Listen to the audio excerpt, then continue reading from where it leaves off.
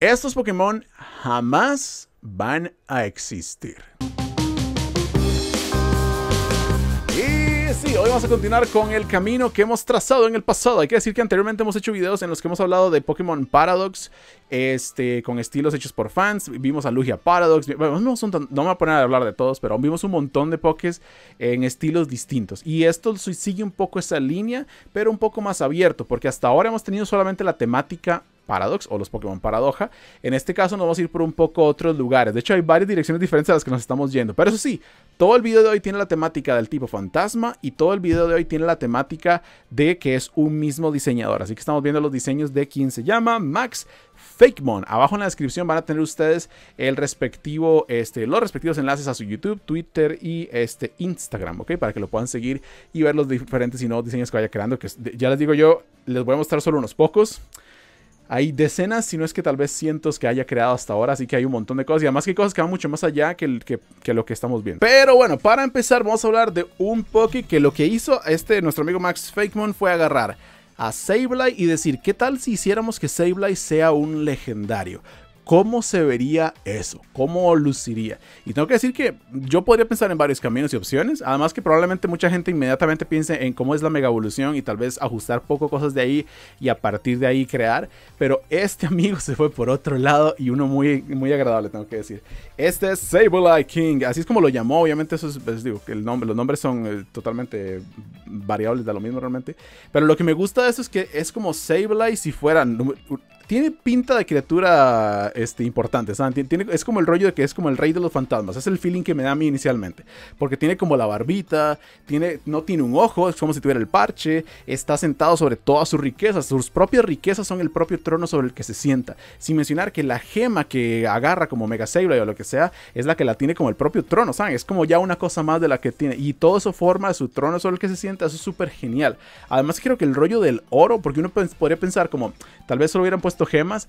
También piensen que por algo el Shiny de Sableye tiene el, color que es, ese rollo como doradito, valioso y demás, es el, rollo con Sableye. Así que pasó de ser el duendecillo, goblincillo pequeñito que se roba cosas a ser el rey de todos los Sableye. Me encanta la idea. Me encanta la idea. Aunque sigue siendo dragón siniestro. No sé si yo le cambiaría el tipo, la verdad. Sí, tal vez siniestro. No, es que sí. Eh, dragón siniestro, que estoy diciendo. Es, eh, fantasma siniestro. Yo creo que yo lo mantendría a los tipos, sí. Había pensado tal vez en el acero, pero pero es que no, no, siniestro. Sí, no, no, no, no. Las monedas no son tan, tan relevantes en ese caso realmente. Me gusta además que viendo el diseño parece que las monedas también como que están encima de él, son como su propia capa. Oh, yo creo que eso es lo que es. Oh, vaya, eso sí que no, lo había no me había percatado eso. Son como su capa, su trono, su... Vaya. Siguiente Pokémon, por favor, porque este ya nos ha llevado bastante lejos. Tenemos a Molding. Tengo que decir que esto está basado en un este, una cosa que les pasa a los peces de verdad, que son los hongos. A los, algunos peces pueden tener, llegar a tener hongos, formaciones de hongos encima, que se ven como blanquitos en general. Ahora, lo que hizo esta persona fue decir, ¿qué tal si un hongo tomara el pez completo y se tome, y saben? tiene un poco el feeling que tiene Parras Parrasec, por ejemplo, para que se hagan la idea. Para quienes no sepan, los pequeños champiñoncillos que están sobre Parras luego crecen y toman control completo de la criatura. De hecho, si ustedes ven las pupilas de Parras, tiene el circulito, tiene las pupilas, vaya, de color negro, pero cuando evoluciona a el ojo está completamente blanco porque ya Parrasec no tiene control sobre su propio cuerpo, sino es el parásito, el hongo, el que tiene el control. Aquí es algo parecido. En este caso no es tan directo en la cara como el champiñón gigante que tiene Parrasec encima, pero aquí sí que todo su cuerpo es blanco. Aunque tengo que decir, esto técnicamente no es Goldin parte 2 o Goldin de Paldea o Goldin... No, no, no. Esto es una forma o lo que sería un Pokémon, una evolución convergente. Así como hemos tenido, por ejemplo, a Toadskull y a Tentacool. Y así como tenemos a Wugtrio y a Ductrio, por ejemplo, o a Wigglet y Diglett, misma historia. Esto es lo mismo. Sería un Pokémon alternativo que evolucionó en paralelo y terminó pareciéndose, pero no tiene nada que ver el uno con el otro. Ese es el, el rollo que tendría Molding. Y Molding, obviamente al ser un pececito fantasmagórico un honguito fantasmagórico, supongo, evoluciona en su propia eh, evolución, que también tiene este rollo también, que van a darse cuenta que Ricky, me encanta esto. Eh, se ve altamente podrido, no se los voy a negar. Este pasó a ser ahora solo eh, fantasma veneno, además. Y este, lo curioso, lo que me gusta de eso es que sigue justamente lo que les digo. Vean que ahora la pupila está blanca, blanca, blanca. Perdido totalmente. O sea, tiene la babita y todo el rollo de que es como, es como, es como un zombie más todo el rollo de putrefacto que tiene extra y demás. Me gusta mucho lo que hicieron aquí. Nuevamente, gran diseño, gran idea. Y me gusta que lo llevó a cabo para toda la línea evolutiva. No solo es como que hizo el molding y listo. No, no. Se puso a ir a todo su camino directamente Bien ahí, bien ahí. Me gustaría ver los shinies de estas formas. Ahora que lo pienso, algo que no, no hemos notado aquí. Pero bueno, después de esto viene algo que no es fantasma, pero es la adaptación de un fantasma. En este caso es Iron Saber. Esto es el Paradox futuro de Honech. Obviamente esto no es oficial, para los que, porque se ve súper oficial. Tranquilos todos. Eh, no, esto no es oficial, pero sí que es genial. No se los voy a negar. Me gusta lo que hicieron. Y lo que más me gusta de aquí, o me gustaría de aquí, es cómo se vería ese hipotético Aegislash. Los Paradox de momento en el juego actual, en Escarlata y Púrpura, no evolucionan y tienen ese tipo de rollos. Al menos no tenemos la opción de que eso sea así. Eh, pero sí que sería genial ver el resto del camino de este Honech, porque es tan diferente. Tiene como feelings de sable de luz, tiene feelings de espada este, poseída de alguna manera. De hecho, el propio sable de la espada es el fuego. Si se fijan ahora es fuego siniestro, por lo que claramente eso va por una dirección muy específica. Eso es justamente lo que digo que me intrigaría grandemente de ver la evolución, porque 100% de X-Slash es la espada, o el cuerpo de X-Slash en sí es la espada. ¿Cómo sería esto en un Pokémon de esa otra manera? ¿Saben que cómo luciría diferente?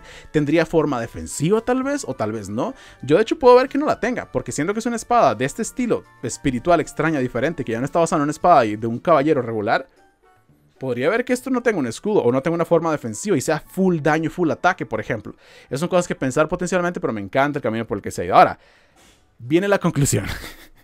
Y les digo, no se esperan lo que están a punto de ver. Yo tampoco me lo esperaba, me quedé como, ¿what? ¿Qué es esto que estoy viendo? A ver, piensen en Yamask. Piensen en Cofagrius. Piensen en Yamask de Galar. Piensen en Runerius. ¿Qué tal si nos vamos de ese escenario de que es típico como ruinas, tumbas, piedras antiguas, etcétera, a que de pronto un hotel ha quedado abandonado? Oh, no esperaban esto, ¿verdad? ¿Qué tal si en el hotel abandonado de pronto esos pequeños fantasmitos no tuvieran lugar donde ir y que ocultarse entre las propias cosas que el hotel les ofrece? Oh, amigos. Yo tampoco vi esto venir, pero me gusta, me parece muy, muy cute. Véanlo. Miren, no, tiene ni nombre, de hecho, supondré que será Yamask de, de, Hotel, no sé, Yamask de Four Seasons. Eh, no tengo, yo creo que no puedo ni explicar lo que estoy viendo. Es súper bonito. Es una muy buena y muy extraña idea. Es de esos pokés raros, eso que quede claro. Es del típico poke raro de la generación, ¿saben? Que lo meten y no se como, ¿what? ¿En serio hicieron eso? Además, que si se fijan, eso también le da juego para que, este, como funcione el, el Cofagrigus, llamémosle, eh, pueda variar un montón. Porque toman en cuenta que, digo, vean que como sale la manita desde, desde la ropa esta del, del botón es del, del hotel y la otra sale de la maletita y los ojos salen de la otra maletita. Entonces podría estar variando lenta, eh, rápidamente, perdón, de dónde salen cada cosa y cómo se mueve y cómo se hace y demás. Lo que supongo es que de natural se desplaza con las manos jalándose y con las rueditas girando y él así pudiéndose mover. Pero es tan raro diseño, pero tan raro diseño que yo creo que es perfecto para que esté aquí. Y sobra decir que esto tiene que ser tipo fantasma, ¿no? Lo que les pregunto a ustedes, ¿qué tipo creen que sería adicional? ¿Solo fantasma o fantasma algo? Pero bueno, Aquí lo tenemos, ese es el video del día de hoy adicional. Quería hacer algo un poco diferente para irnos por otro lado. Y además, tengo que ser sincero, después de que los diseños que hizo este Max Fakemon, creo que eh, teníamos que hacer el episodio. Tenemos que hacer el episodio. Así que probablemente hagamos un episodio en el futuro en el que le incluyamos de nuevo junto con otros más. De hecho, estoy trabajando con otros artistas potencialmente para incluirlos en un futuro episodio de este estilo, como ya hemos hecho en el pasado. Y créanme que hay otras cosas muy geniales que ver y los voy a dejar con la intriga. Si les gustó el video, dejen su like, suscríbanse para más. Y si tienen sugerencias de otros estilos de videos de esta manera, pónganlo en los comentarios que obviamente son 100% bienvenidas. Nos vemos la próxima. Bye.